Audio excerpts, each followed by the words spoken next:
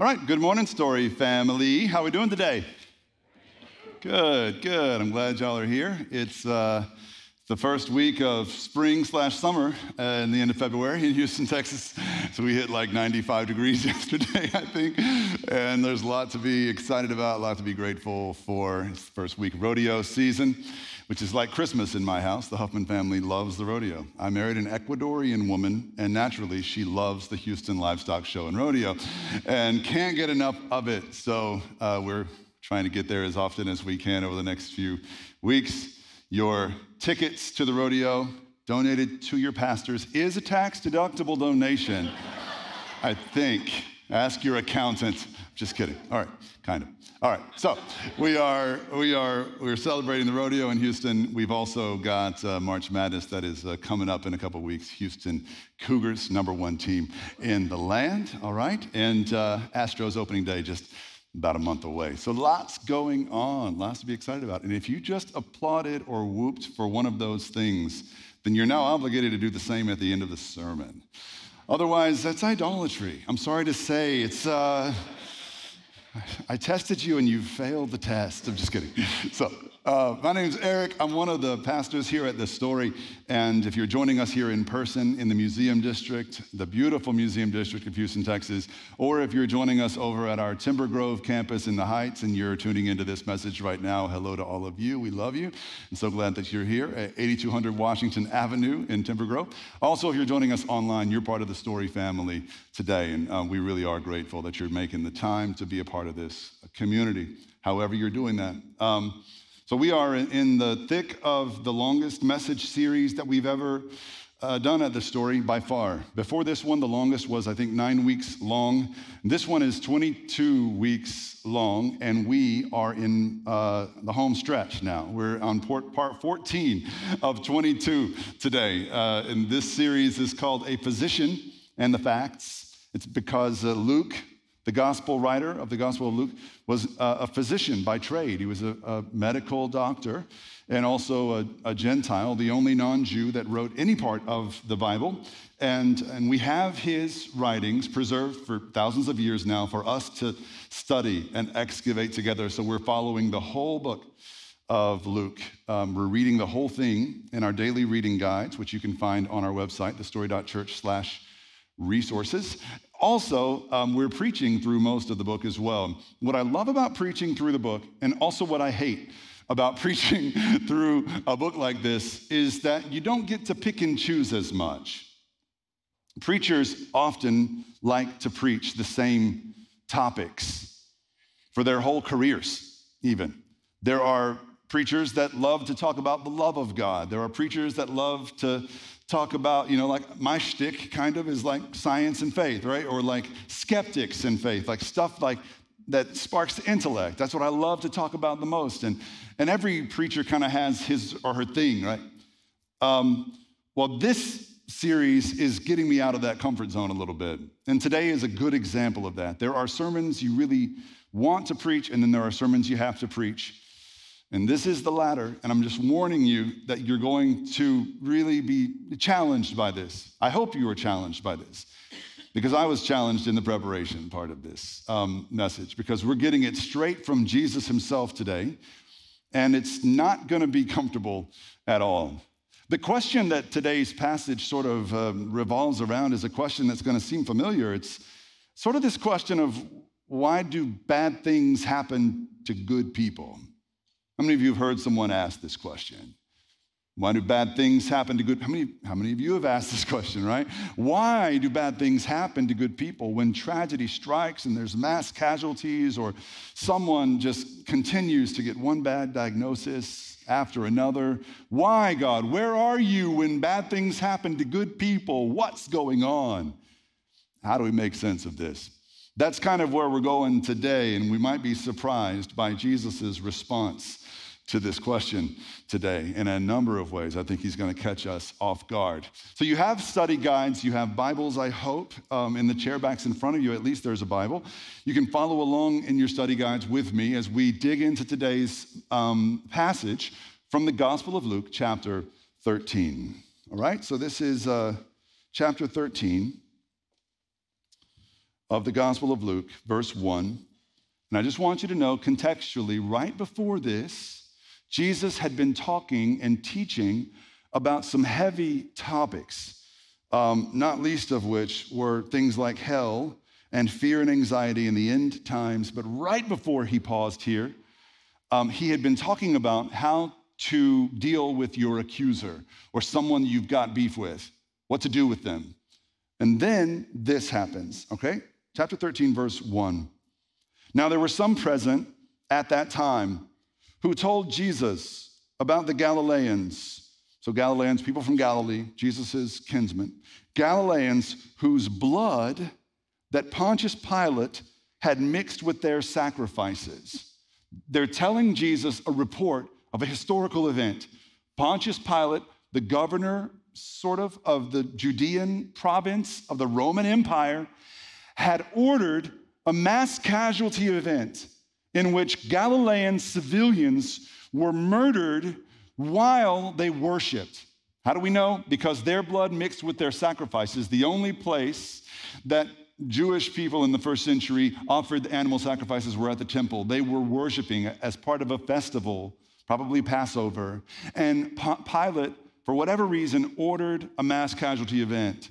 Okay? So that's what they're reporting to him. Pilate had mixed their blood with their sacrifices. So they're giving Jesus this news. Traumatized, right?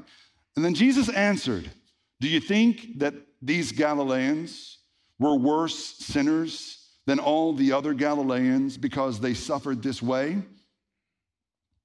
Like, that's a weird response to their report. Just think about it like you're there, right? Think about what it would be like to have Jesus answer this way.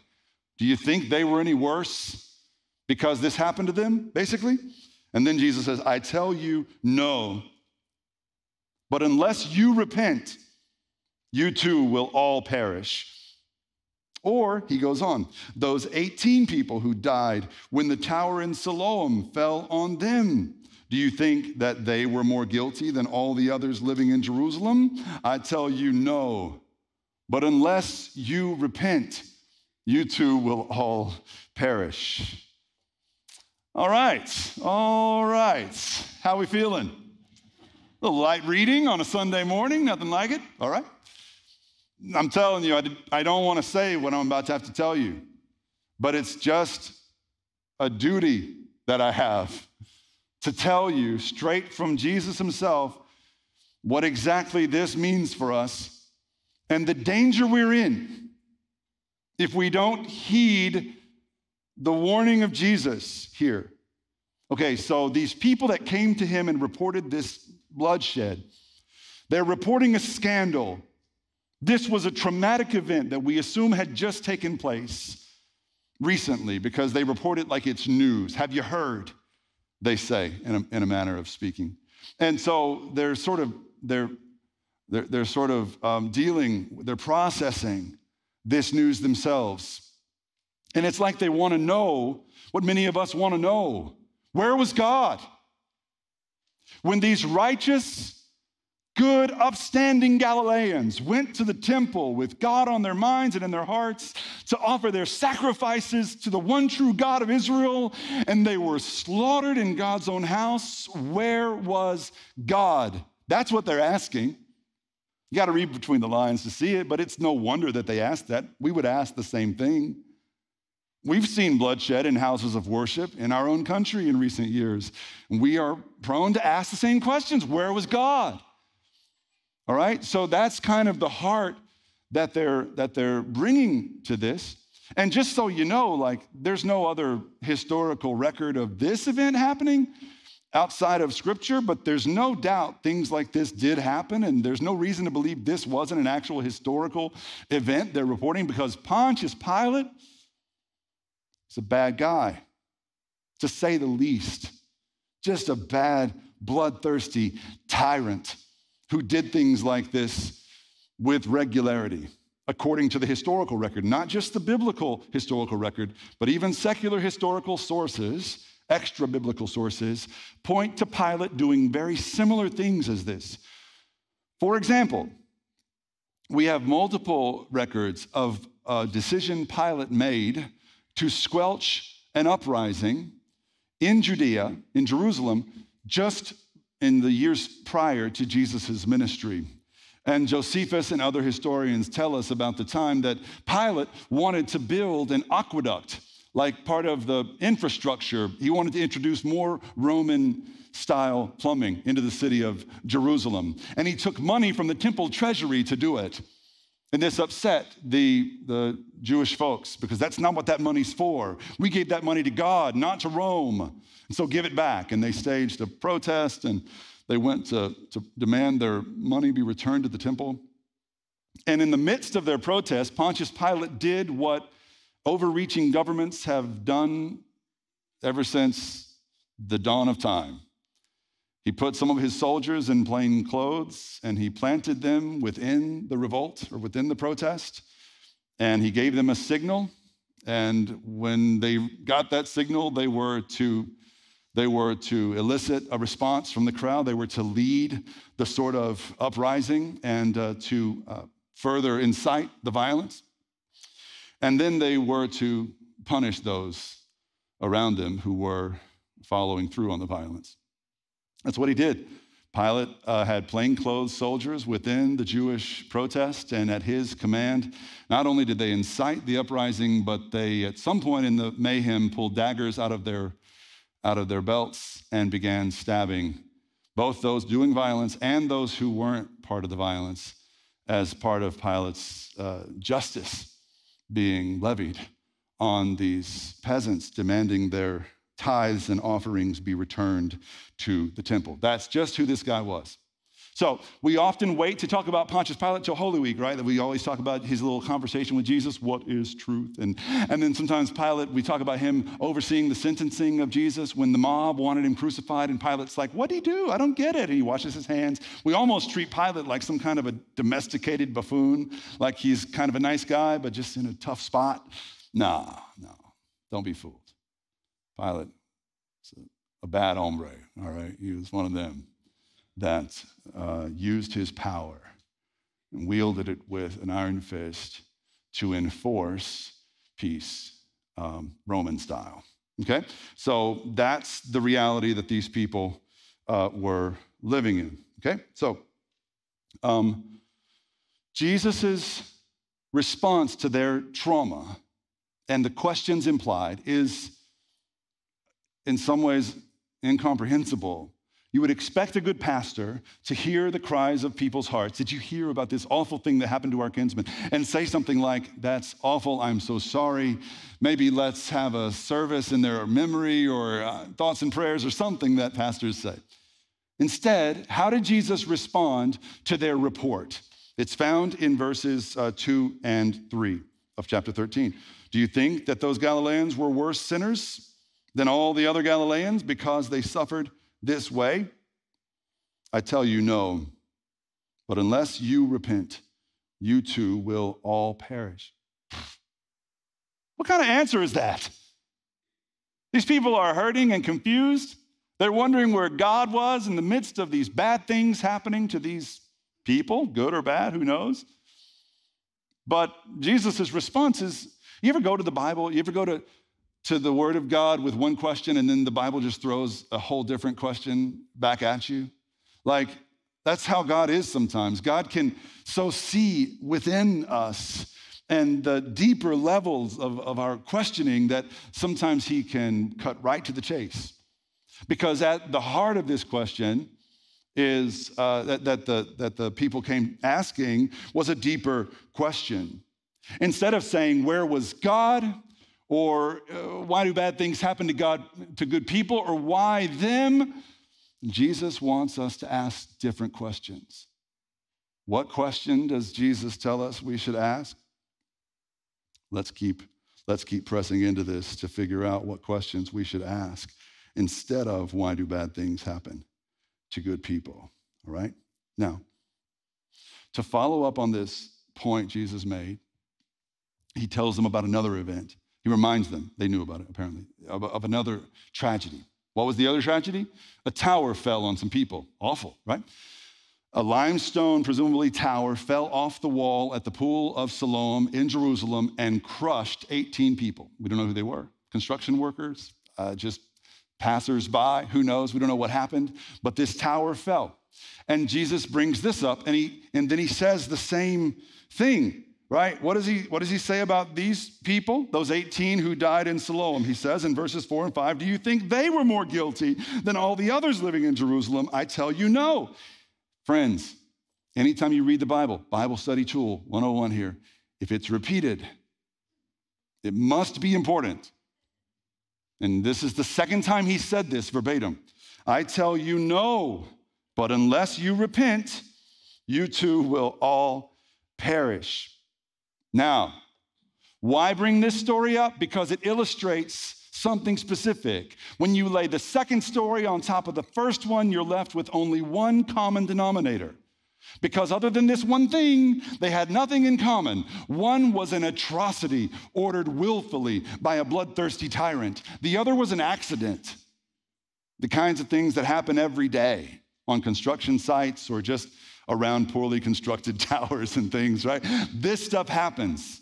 Ironically enough, insurance companies call them acts of God. That's right. And God's like, you guys, I don't know, but he gets blamed for a lot of things even by secular insurance companies, even to this day, right? So, what is it that these two events have in common? Not much, other than they, uh, both of these types of events uh, arouse in us the same kinds of questions about God and what's fair and who's good and who's deserving of such a death. All right? So, Jesus' response is just the ultimate example of how he threads a needle. Because what Jesus said in response to these people's questions and the cries of their hearts is not only are those people who died not worse than us, they're not worse sinners than you and me, he also doesn't say they're good people. Did you notice? He doesn't, he doesn't give into this notion that they're worse because they died at some horrible death, but he also doesn't sort of let them off the hook as though they were good people. What we have to grow to understand in our walk with Jesus is that questions like, why do bad things happen to good people are not Christian questions. This question is so common in our vernacular that it's almost a given that it's okay or meaningful for a Christian to ask a question like this. The more biblical your worldview becomes, the less sensical a question like this will be. First of all, there's the problem of bad things.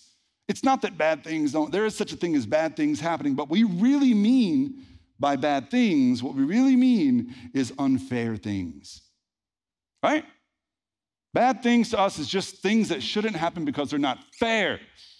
And the problem with words like fair and unfair is that they're, they're, they're shaded with our own limited human perspective. What do we know about fair? What do we know about unfair?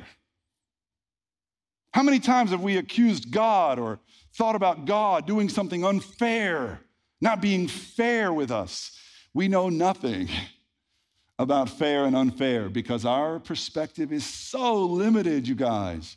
It reminds me of a story that a professor told one time about, uh, I heard him in a, preaching a sermon, and he talked about being a professor, and, and, and he talked about the beginning of a term. Every year, the freshman class would come into his to his classroom, and every year it was the same. He would pass out the syllabus, and every semester was the same. There was a paper due at the end of every month of the semester.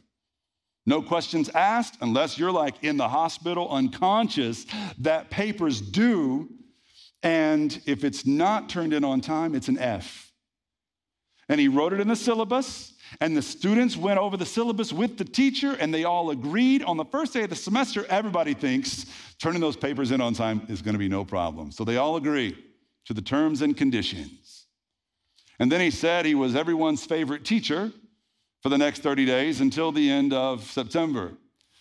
When the first paper came due, Without fail, that freshman class would come in stumbling and bumbling and crying, and we just didn't have time. We haven't adjusted to the college life yet. We're still getting used to this. Please, teacher, professor, doctor, have mercy on us. We just need more time.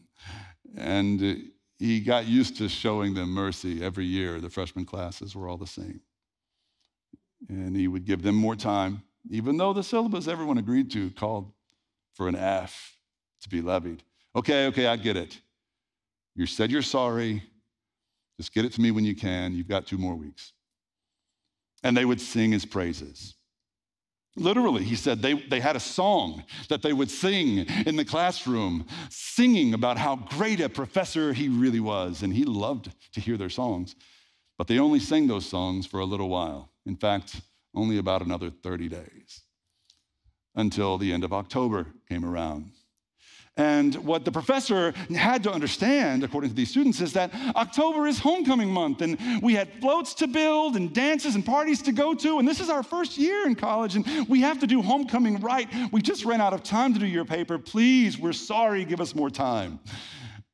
And he talked about giving them more time to complete the paper the second time because they were contrite, because they pleaded and begged. He said, Give me the paper within a week, and we're good. He was their favorite professor for another 30 days until the end of November when the third paper was due. And about the same number of students would show up with no papers in hand. And this time they didn't even bother to give an excuse. They weren't crying anymore. They weren't saying that they were sorry. They weren't talking about what a great professor this was. They just said, hey, we'll get it to you when we can. And the professor said, I remember getting my black book out, my notorious black book out, and marking by each person's name without a paper F, F, F, and he said the outcry in that classroom every semester at the end of November is like there was a mass casualty event in the classroom. How could you? Where are you, God? Like, this is unfair. How could this professor be so hateful? This isn't fair. And the professor talked about uh, addressing one young man by the name, last name Johnson. Mr. Johnson, are you sure you want what's fair? Because I could just as easily go back to October and September and give you what you deserved. But I have been merciful, and you have forsaken my mercy. And how often do we do the same? Forsaking the many, many, many mercies of God for so long until we become so entitled that to us, what is just seems unfair. That's what's at, at play today. This question, why do bad things happen to good people, is a false question. Bad things, in terms of unfair things, unjust things, do not happen. God has never dealt with you unjustly, and He never will. This is part and parcel to His nature as a good God. But that's not the only thing that's wrong with the question why do bad things happen to good people? What's even more insidious about that question is the good people part. Because according to scripture, there's no such thing. Now, the world is sort of a self esteem driven world now, and, and we have this culture where it's like, you know, you're good the way you are, and all that, it's okay, whatever. We're here to understand the Bible and to develop a Christian worldview. And if you develop a Christian worldview, you cannot, you cannot find room for the belief that some people are good and others are not. Every one of us is bad according to God and from heaven's perspective. Because to be good implies that there is a standard of good. So then to be good would be to be like God, which means to be without sin, and who can stand? None of us. And this is a, a, truth that is consistent throughout Scripture from the Old Testament. For example, Ecclesiastes 7, verse 20 Surely there is not a righteous man on earth who does good and never sins. That's the Old Testament, and that's just one of many passages I could pick to illustrate this point that there's no good people. Also, in the New Testament, this theme is carried over in the writings of Paul, for example, where he wrote, For all have sinned and fall short of the glory of God. No one is perfect, no one but Jesus is good. So, this is why the phrase, the question, why, why do bad things happen to good people, is doubly problematic. Okay? This is the, the needle that Jesus is threading because he refuses to say, on the one hand, that these people who died in these tragic events were worse sinners than the rest of us, but he also refuses to say they were good people. So there's some other way of looking at this. And he's sort of warning us against the typical responses that we have to tragedies. And he's naming the, the most common one among the people of his day, which was the friends of Job right? Job suffered, and so his friends all thought he did something to make God mad, and so there's a reason. It's a karmic kind of thinking that can be easy to fall for. We can easily, even as Christians, I've heard Christian preachers and Christian leaders fall for this same way of thinking. There's floods in New Orleans. Well, because it's New Orleans and God's had enough, you know? Or there's, there's earthquakes, tragic deadly earthquakes in other parts of the world. Well, there's a majority Muslim nation. No, no, that's not Christian thinking. Okay? And, and, and there's not floods in California because whatever you hate about California is true. It's like, I get it. I get it. If I was a cartoonist and I had to draw Satan, he would look a lot like California's governor, probably. But I, I doesn't mean he's the reason okay? The reason we have to be careful about drawing these lines is because we're next. If it's really the case that bad things only happen to bad people, just wait. And really, what that should what that should evoke or elicit within us is a deeper question of if this is the case, when bad things happen and tragedies strike, mass casualty events, our question shouldn't be just, why them, Lord? Our question really should be, why not me? Why not me? Not only should we be prompted to ask, why are they no longer here? The deeper discipleship question is, why am I still here? But for the mercy but for the mercy, but for the mercy of God, I'm still here, alive, not struck down, not dealt with justly by a good God who could strike me down fairly and justly, and yet I'm still here. So, if bad things don't happen to good people, and if unfair things, you know, quote unquote, aren't to blame for tragedies in the world, then what should our response be to these kinds of events? Jesus is pretty clear here.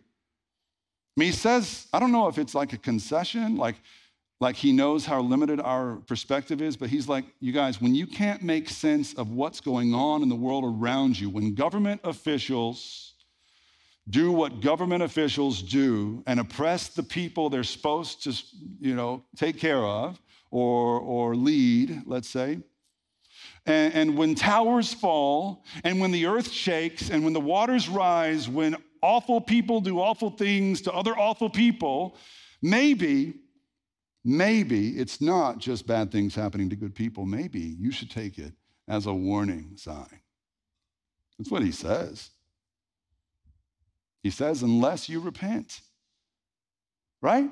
It's like it's a totally different way of thinking. When tragedy strikes, he says, one thought you should think is, unless I repent, I'm going to die too.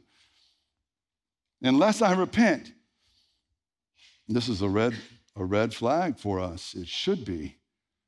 So repentance is the call of Jesus here. This is the part I didn't want to say because I don't like being that guy. I don't like being that preacher. I like being the love preacher. I like being the skeptics and you know stuff like that. And and yet there's a lot less of that stuff in jesus' teachings than there is the call to simply repent. The first word of jesus' first sermon ever preached was guess what? Repent. To repent is to turn. It is to willfully change your perspective or the direction that you're facing. To repent is to recognize that there's some part of you that does not fit with God, that is not belonging to God, that is not His yet. It's to acknowledge that you are a wretched man, right? Or a woman. Like, until you get to that point, to the end of yourself, there can be no repentance. And according to Jesus, without repentance, there can be no salvation. That's what's on the line. And I know it sounds borderline works righteousness. Like I thought that I thought that salvation was a gift of God's grace, Pastor Eric. You're always talking about how salvation's a gift. We don't have to do anything, it's just ours. It is. But you can also leave the gift unopened, unreceived, unappreciated, unattained. That's what the unrepentant life is. You don't have to repent in order to be forgiven. Jesus already paid it all, but you do have to repent in order to receive his forgiveness and experience it and know in it and, and know it and live in it. That's why forgiveness and repentance matters so much.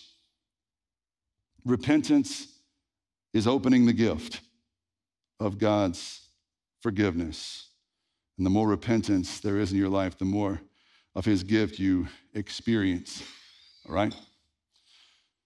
So in the in the latter part of the New Testament, the Apostle Paul talks about the difference between a Christian per, or biblical perspective about the, the, uh, tragic events that happen in the world and a Christian one, uh, a biblical one, and a, and a secular one. And I just want to read it uh, for you. I read one verse of this at Ash Wednesday service. Um, but I'm going to read the whole thing now. This is 2 Corinthians chapter 7, verses 8 through 11. Look what Paul says about repentance here. He says, Even if I caused you sorrow by my letter, I don't regret it. Though I did regret it, so he had written them a scathing letter and hurt their feelings. You ever do that? You ever hit send on that email? That's what he did. And he's like, I don't regret it, but I did regret it, but I don't regret it. It's like Paul being a, a guy here, right? It's like, but I only regretted it for a little while. But now I'm happy, not because you were made sorry, but because your sorrow led you to repentance. I'm glad that my scathing letter brought you to repentance, in other words. For you became sorrowful as God intended, and so you were not harmed in any way by us. Godly sorrow brings, here it is, godly sorrow brings repentance that leads to salvation and leaves no regret, but worldly sorrow brings death. See what godly sorrow has produced in you earnestness, what eagerness to clear yourselves, what indignation, what alarm, what longing, what concern, what readiness to see justice done. Godly sorrow produces repentance, which leads us to pursue the holiness of God. If you want to be changed and you want to change the world around you, it doesn't begin with you just being a better person. It begins with you on your knees saying, I repent. And me too, by the way. I repent. I repent of the lies I've told. I repent of the lies I sing during a service when we sing a song like, I surrender all and I don't mean it. I surrender a part of me, but not all of me. I'll give you a certain percentage of me. I surrender one tenth of one percent or whatever would be a more real, would be a more honest song to sing. I surrender all. How dare we say such a thing? You know, you should keep singing. I'm not telling you not to sing, but sing aspirationally. Sing with a penitent heart. Lord, I surrender all, even though I know that I haven't. Lord, I surrender all, but forgive me. I repent. I repent of the small or big parts of me that I've held back from you. I've been playing games with you. I've been seeking religion instead of relationship with you. I've wanted you to meet my needs, but I haven't sought to serve you. All the things we do and leave undone, we just sort of let it float and weigh us down instead of saying simply, I repent. I'm yours. I'm sorry. I want more of you. That's the difference of, between worldly sorrow and godly sorrow. Worldly sorrow is just feelings. I feel really bad about what I did but I'm going to keep doing it forever, probably. Like, godly sorrow is what brings repentance, and repentance is what brings the Holy Spirit. The book of Acts is very clear. Peter says, Repent and be baptized, and then receive the Holy Spirit. Have you repented? Are you to the end of yourself? Is there some part of you that you're just sick of? Maybe a part of you that no one else knows about because you're ashamed and it's a secret, but you know it and you can't escape it or you don't think you can. Maybe it's because you've been too self reliant and self deceived and you've avoided the simple act of repentance. like a child in his father's presence or her father's presence. Lord, I'm sorry. I'll do better. Show me the way. I once heard a preacher say, Worldly sorrow wants to tame the lion, but godly sorrow wants to kill it. To repent is to kill the lion. Jesus finished his teaching with this parable from Luke 13, back to our original passage, four verses, and then we're pretty much done. He says in Luke chapter 13, verse 6, he told this parable. A man uh, had a fig tree growing in his vineyard, and he went to look for fruit on the fig tree, but it didn't, he didn't find any. And so he went to the man who took care of the vineyard. So the landowner, God the Father, uh, almost always in Jesus' parables, the big wig is the Father. Um, and then the caretaker is most likely the son in this analogy. And then uh, the landowner said to the caretaker, For three years, I, I've been coming to look for fruit on this fig tree and I haven't found any. Cut it down. Why should it use up the soil? Sir, the man replied. So this is the caretaker talking to the landowner. Leave it alone for one more year and I'll dig around it and I'll fertilize it and if it bears fruit next year, fine. If not, then cut it down. What's Jesus saying? Time is running out. And y'all, I don't think in eight years of preaching at the story, I've ever said those words. Shame on me, honestly, because Jesus said them often. Time is short. Time is short. And unless you repent, a fate similar to that suffered under Herod's, I mean, uh, um, Pilate's henchmen, suffered under the Siloam Tower awaits us all, but not just a physical death that awaited them, and even more terrifying fate, a spiritual death, an eternal one. Time is short. Unless you repent, Jesus said. I know that those words sound deeply religious and offensive. They may even sound hateful. I would encourage you to hear them the same way Luke might have. Luke, the doctor, knew very well that being honest with your patient about what's wrong with them is the best way to show professionalism and love to your patients, to those you're caring for. When someone has cancer, you tell them they have cancer. You don't lie to them just because it's nicer. And in the same way, unless you repent, is the gentlest, most loving kind of warning because time is short. So make your heart his. Kill the lion. Say, I repent. Surround yourself with other contrite Christian hearts as we follow Jesus together. Let's pray. Lord, we thank you for this reminder. It's a stark one and it's challenging to say the least. Um, I pray that uh, your spirit would move in this moment. Come on, Holy Spirit, just move. That you might wash away everything that needs to go, every lingering sin, every shadow of shame, until we are just like you. Holy, Lord, and free from the chains that have bound us.